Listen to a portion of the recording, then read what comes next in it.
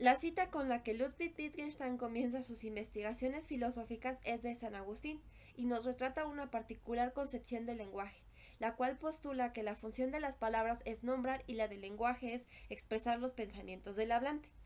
Los primeros parágrafos del libro lidian con esta visión, su alcance explicativo y los posibles contraejemplos que se le pueden dar.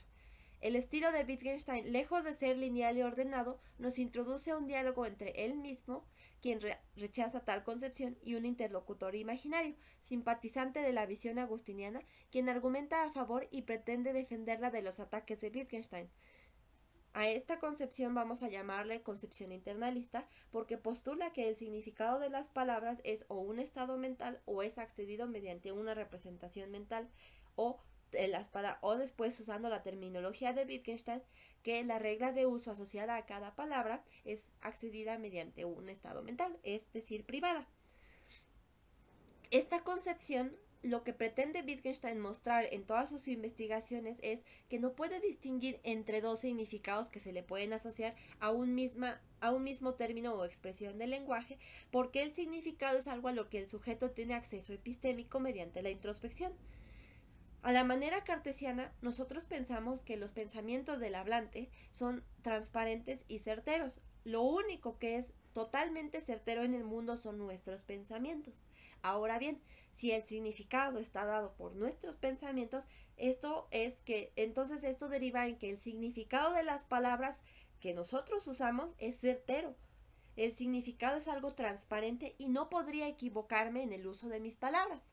Wittgenstein nos intenta mostrar de que sí podría equivocarme y es más, que no podría nunca estar correcto. Sin embargo, a lo largo de la tesis, que es el motivo de estos videos, voy a tratar de explicar cómo Wittgenstein nos muestra que esto es lo que pasa con esta concepción. Esta concepción también postula que la comprensión lingüística no es más que la asociación correcta de ciertos significados a ciertas palabras.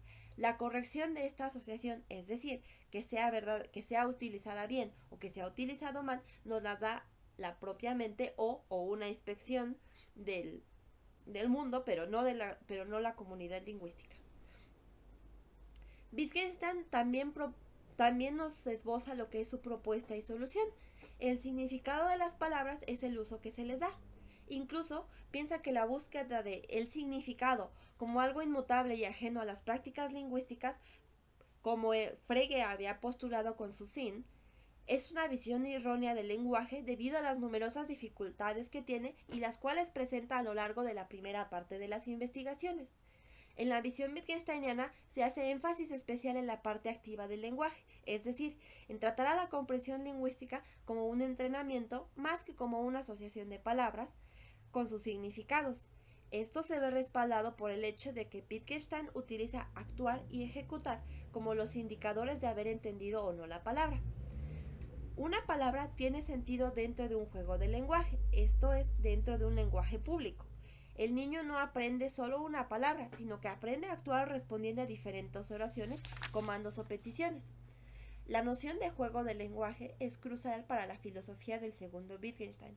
Gracias a esta, se explica el cambio tan radical que tuvo del Tractatus Logico Philosophicus a las investigaciones filosóficas.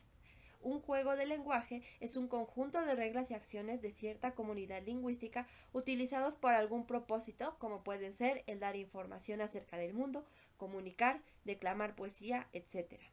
Las nociones teóricas de significado, comprensión lingüística y demás solo tienen sentido dentro de cierto juego de lenguaje por que ya teniendo establecido cuál es el juego del lenguaje, nosotros podemos acudir a las reglas y así a las condiciones de aplicación correctas necesarias para tal juego. Las preguntas filosóficas y el motivo filosófico de buscar una esencia o algo que sea general y que sea inclusive a todos los juegos del lenguaje en preguntas tales como ¿qué es el significado? ¿Cuál es la esencia del lenguaje? Si hay una forma general de las oraciones, o cómo se conectan las palabras con el mundo, que es un simple, en alusión a las teorías atomistas del lenguaje, como fueron las de Russell y la del Tractatus, más que tener respuestas generales, tienen una obtenida a base de la observación práctica cotidiana del mismo. Toda la filosofía siempre debe de hacer sus preguntas desde la perspectiva de cierto juego del lenguaje y debe de cuidarse de no tratar de pensar que puede encontrar lo esencial o lo general a todos los lenguajes. Dentro de una comunidad lingüística, dentro de un juego del lenguaje, se nota la gran variedad de aplicaciones que tienen las palabras, ya sea como órdenes, preguntas o aseveraciones. Justo en el primer párrafo, Wittgenstein nos describe una escena la cual podríamos analizar bajo tal concepción. Mandamos a un niño a comprar cinco manzanas rojas y no confiando en su madurez para hacerlo, anotamos en un papel la petición. El tendero, para entender qué, qué pedimos, busca el significado palabra por palabra, esto es, busca a qué refiere cada una, puesto que la función de esta, es, de esta son nombrar objetos, manzana y rojo son intuitivamente más cercanas a nombres, porque podemos pensar perfectamente que tenemos un señalamiento en el guacal de las manzanas que dice manzanas. Entonces el tendero solo compara lo escrito con los símbolos y ve a qué nombra cada una y dice, ah, entonces este conjunto de símbolos que dicen manzana se están refiriendo a esta fruta.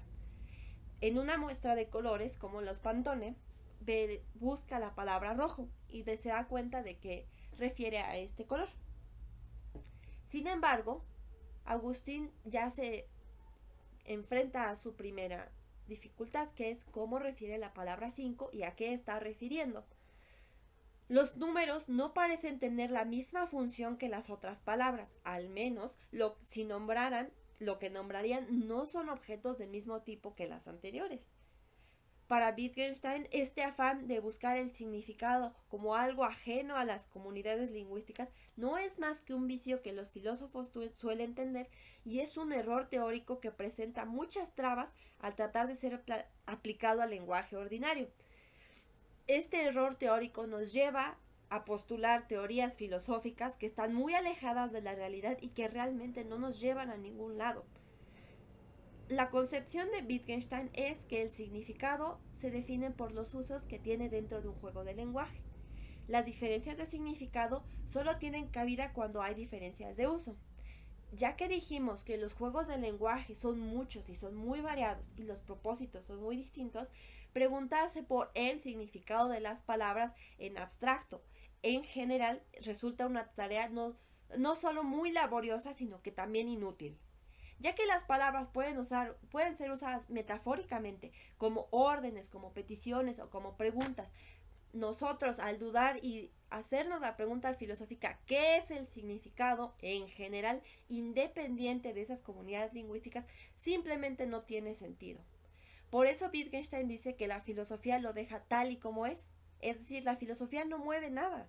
La filosofía no nos más bien, el significado, eh, las preguntas sobre las cuales la filosofía está haciéndose, son preguntas cuya respuesta está a simple vista, pero por lo mismo de que está a simple vista, no podemos verla. El significado de las palabras no es algo ajeno a la comunidad lingüística. No tenemos que escarbar en lo profundo de la gramática de las oraciones para poder entender a qué refieren. Es algo mucho más sencillo. No pienses, mira, estos párrafos son de vital importancia ya que en ellos Wittgenstein diferencia su visión de la internalista. Pensar o tener la intención no es de dotar de significado, ya que el significado es un acto público. Como ya dijimos, los juegos del lenguaje son en una comunidad lingüística. Una comunidad lingüística requiere al menos de dos hablantes, ya que uno de los principales propósitos del lenguaje es comunicar.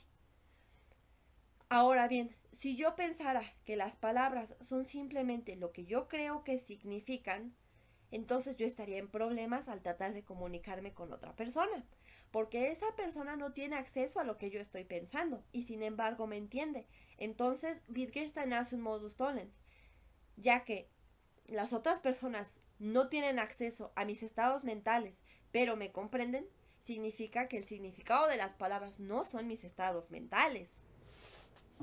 El internalista postula que la manera en la que se aprende es mediante definiciones. Más bien, el interlocutor de Wittgenstein, al tratar sobre la comprensión lingüística, nos dice que la manera en la que aprendemos palabras es mediante definiciones. Es decir, nosotros tenemos manzana y una definición al lado. Manzana es una fruta que crece en los árboles, chalala, chalala. Entonces, pegado a esta noción de que yo podría, más bien de que las palabras, más bien lo que aquí trata de criticar Wittgenstein es la noción de que yo puedo, de que el acceso que yo tengo a los significados es transparente y certero. Para eso nos tiene que mostrar que hay una, hay al menos una ocasión en la cual yo tenga un acceso transparente y sin embargo esté usando malas palabras. Pero el argumento tiene varios pasos. Primero, tiene que mostrar cuál es el mecanismo mediante el cual el, el interlocutor de Wittgenstein, que es la visión tradicional, nos refiere a objetos, que es nombrar, y cómo se da esta relación del nombrar.